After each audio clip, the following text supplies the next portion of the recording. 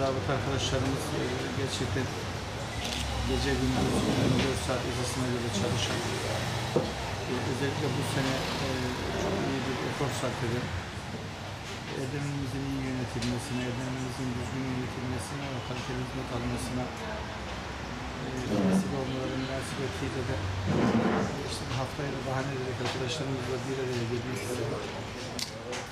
şu anda bunun güzelliğini yaşıyoruz. Arkadaşlarımızın haftasını tebrik ediyorum. Erdemli Belediyesi'nde çalışmanın e, ayrıcalığını hisseden, onu gerçekten özümseyen, onu hissetleştiren bir grupla çalışıyoruz. Değerli mesele arkadaşlarımızla çalışıyoruz. Bekli mesele arkadaşlarımızla birlikte biz e, inşallah çok daha büyük, çok daha güzel, çok daha mükemmel hizmetleri imza atacağız.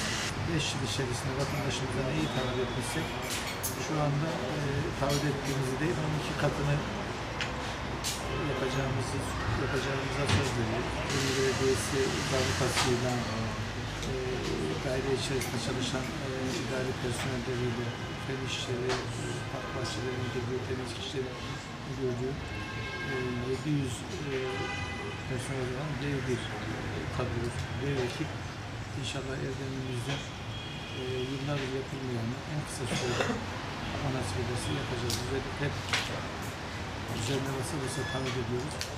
Önümüzdeki yıl Erdemli e, sınırlar içerisinde asfalt problemlerini, problemini halledeceğiz Allah nasip ederse.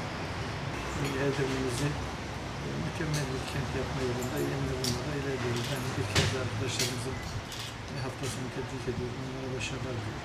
Belediyesi Zabıta Müdürlüğümüz ekiplerince halkın sağlığı ve huzuru için 7 gün 24 saat kesintisiz hizmet vermekteyiz.